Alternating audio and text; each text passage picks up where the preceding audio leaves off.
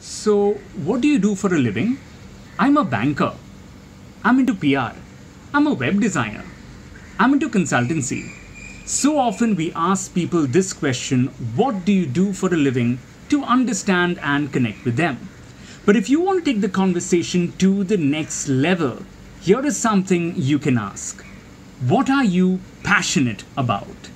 You may be surprised, but the banker might speak about how she enjoys going trekking every weekend. The web designer might speak on how he enjoys teaching football to his son and daughter and making them understand the tricks of the game. You know, this is really interesting. We can get an insight into people when we understand what they are passionate about. Make sense? So, what are you passionate about? Thank you for watching.